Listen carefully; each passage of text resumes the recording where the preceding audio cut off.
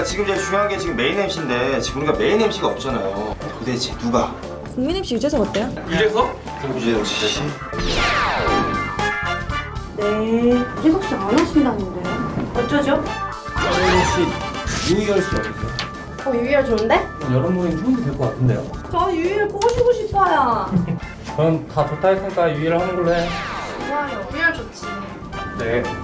아 유희열도 안 한다는데요? 그 래. 그럼 노홍철은? 스케줄이 안 돼요. 부담스럽대요. 음악이 전념한데. 에바야 된대요. 민준이랑 어디 가는데? 전현무 씨밖에 안 남았는데요? 누구 딴 사람 없네? 뭐야 이거? 빨리 알아봐야 되는 거 아니야 또 다른 사람?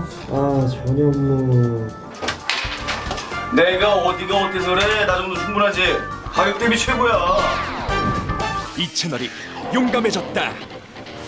방송가 최측근들의 용감한 프로젝트. 정글 같은 방송과 생생한 뒷담화. 위기가 왔었죠. 베테랑 작가들의 거침없는 독설. 한영교사는 왜 많이 못할까 왜 하나부터 열까지 스타의 모든 것을 날카롭게 파헤치고 진단한다. 가수고라는 게 아니라 왜 살려달라고 하느냐 잘 되는 게 이상하지 국내 최초 실전 스타 코칭 쇼. 이 채널 오리지널 용감한 작가들.